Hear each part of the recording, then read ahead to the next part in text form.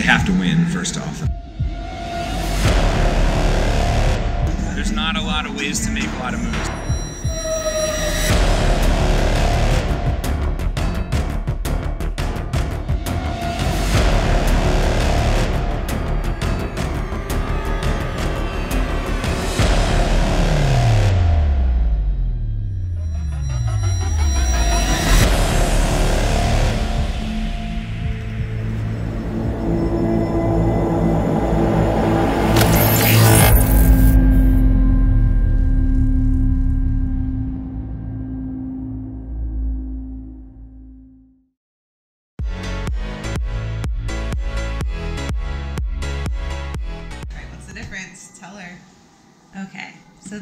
Flat white, and it is a milk-based latte, mm-hmm. and it's not too hot, so she can drink it right away. This is just coffee. You said room temperature. I was about to say room temperature. It's not room temperature. It's warm, but not too hot because she can't burn her tongue. if you burn your tongue on a flat white, they've made it incorrectly. this next one's gonna be fun. This next one will be fun. Mm. Shark Week eating the barbell. I literally yes. Um, yeah, this will be good for us. The gymnastics is not too much in volume, and the barbell is heavy enough, pretty moderately loaded for us, but heavy for a lot of people. Um, where I think we can pull away on that. So Shark Week.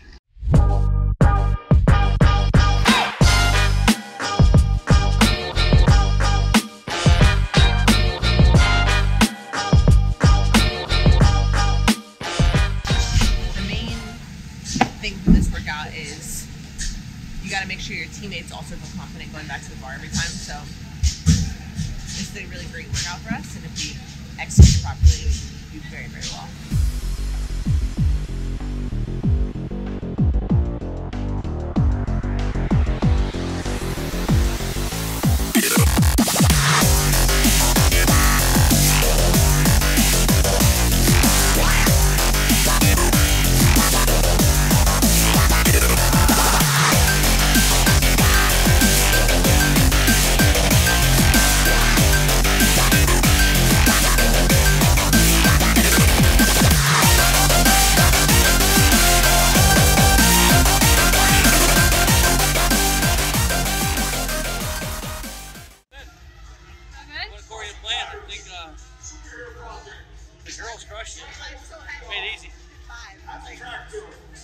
155 was heavy. I was like, uh oh. She's like, you're good, drop it. Okay.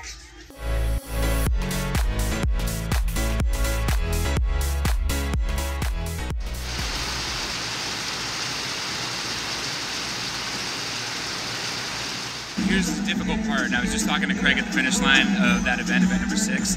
There's not a lot of ways to make a lot of moves, so it's a difficult situation where they're a fantastic team that even if they get first, like they just did, there's not a lot of room in between, right? So what they need, unfortunately, is a lot of other teams to beat JST, which is what hasn't happened yet.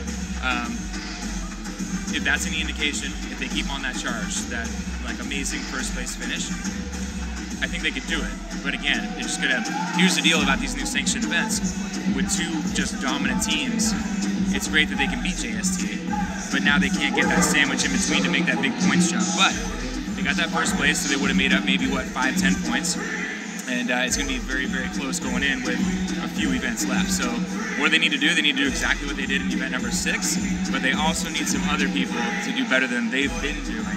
So hopefully some of the Reykjavik teams, hopefully um, uh, the club actually like did a fantastic first event. Maybe they can make a charge late on. But uh, yeah, this is the kind of situation you don't want to be in, where you got to have other people do well to get in there and get points. But got faith, man. They're doing fantastic. JST is hard to beat. Plus they got a ringer and Sam Briggs. Pretty crazy.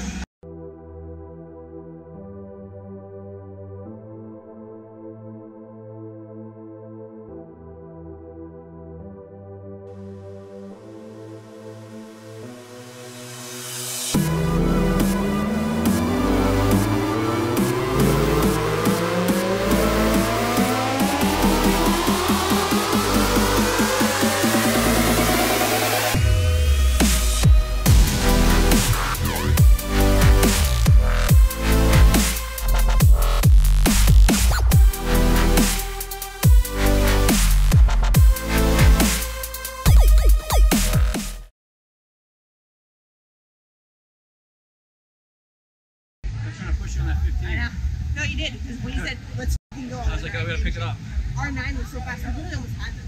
Yeah. Almost had. You guys almost had. From like, from nine to fifteen. why the fuck were our bars moving? Like were Yeah, it was enough space, yeah. Oh, so annoying. I mean, we did what we could. Those first that there was a set where I like purposely got really close to you because I wanted to pick up the bar Yeah. and then sell it, pull it back. also too, like they were like very borderline on their squat level. So I was like, that. I'm doing that too.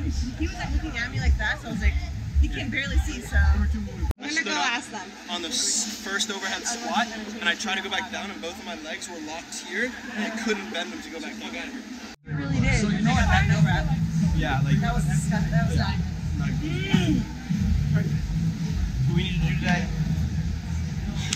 Same as same as we came in, 18 points, and it, it really just depends on the final. Depends Like, on how many that's points are in the final. that's how it mattered going into the. No matter whether we went one and one, Yeah. we would have been 12 points out, so it wouldn't have mattered. Like this is just gonna be. It was, it's hopefully it's winning in. We'll see what we get.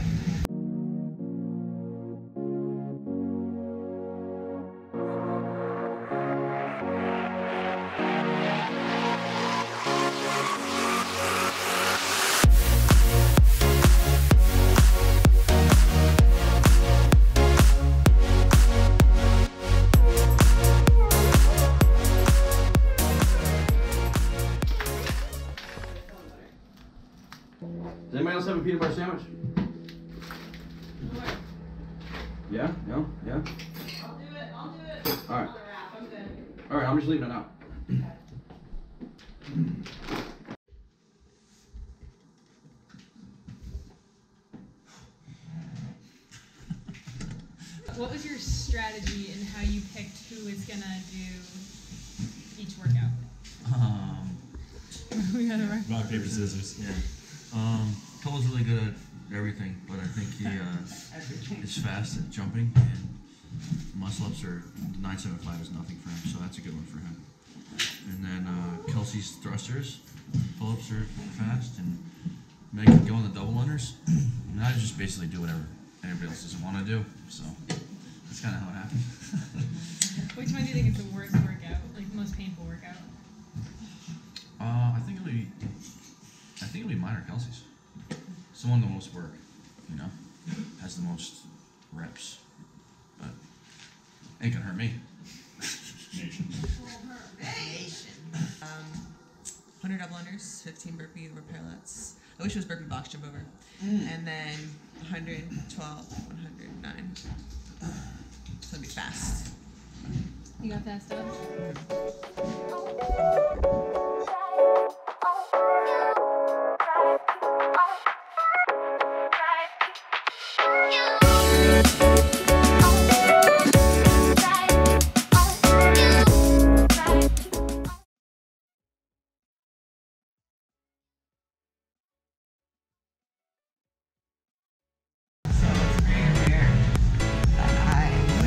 Shorts on the competition floor. But it's a special occasion, so gotta wear them for that. Where are we going right now? We're going to try to find some scissors. I would assume medical has some. Try to cut the shirt because crop tank life. And Kelsey always wears crop tanks, so gotta match her. Oh, I was trying to pull.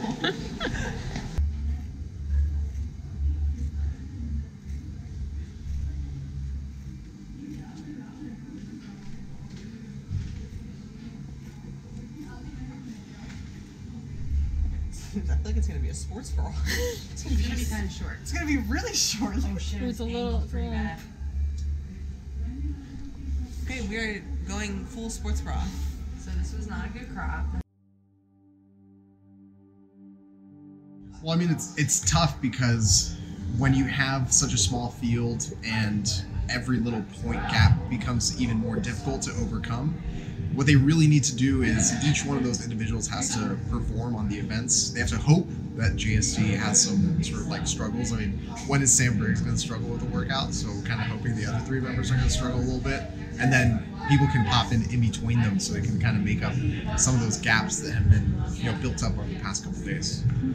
Well, they have to win first off. Um, the way the points are situated with the game's style scoring, the biggest points discrepancy between placements is at the top. So with six points separating first, through second, second through third, and after that it drops down to four points. So they need to win, and then they need a couple of other teams to sandwich themselves in between uh, themselves and JST.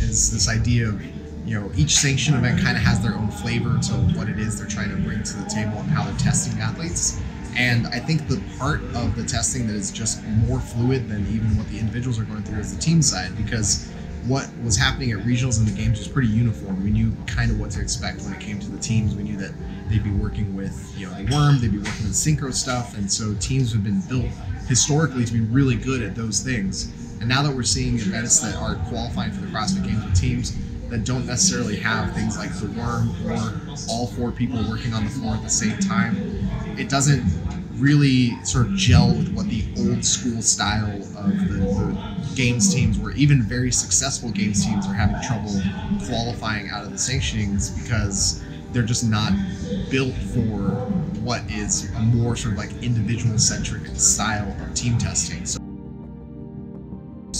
they need some teams like Superhero Project, maybe even Mayhem Independence to have a really good workout um, and then drive JST down the leaderboard. Uh, if they do end up tying, then it goes to tiebreaker, which you don't ever want to have to go to that. So if you're looking at a fifth place finish for JST, they want to win it outright. So uh, they would need JST to, to struggle just a little bit in a relatively shallow field in terms of placement.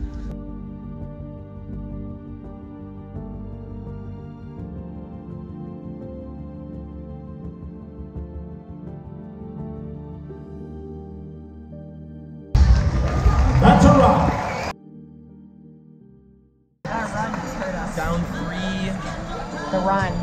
Still here, we would have been down. We'll make the standings three. official during Going the in. award ceremony. One thing that we do know Like, though, that's with- leading coast to coast from the very first event, I mean, a man who's placed yeah, as high as the third run- at the CrossFit Games. Put your hand in the air, my friend. Ladies and gentlemen, What welcome really hurt us was Karl that Gudmundsson. This here.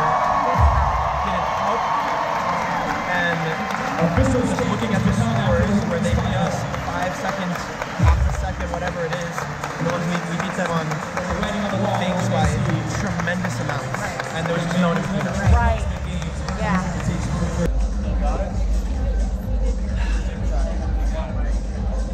having never competed with each other before. Obviously, as a full team, me and Craig have competed together, me and Kelsey have competed together. And as a full team, um, we didn't really make any mistakes this weekend, which uh, can't be disappointed in that. We had a tough event on the first day, but then we were 1-2, pulled us all the way through. Uh, we had some events where we beat the second place team by minutes.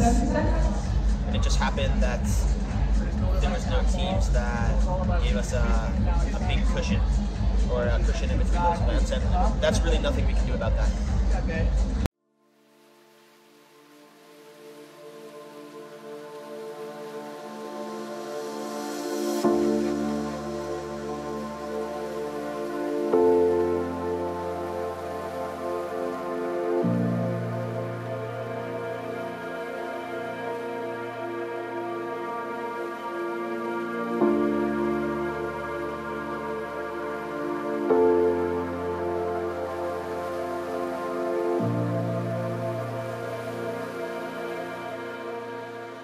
Great.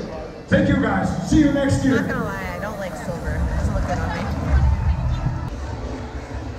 I'm really proud of us this weekend. It's a kick-ass team, and they're really fun to compete with.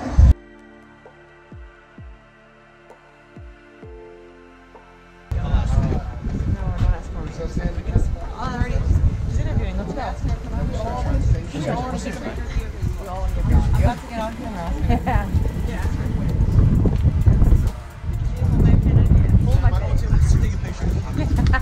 Everybody wants a picture with Oh, we want. Park. Oh, we want a picture with her. I was inviting her out to. Oh yeah, but we also want a photo. Oh, okay. Yeah, she's saying age is not, it's just a number in this sport. She's in her prime.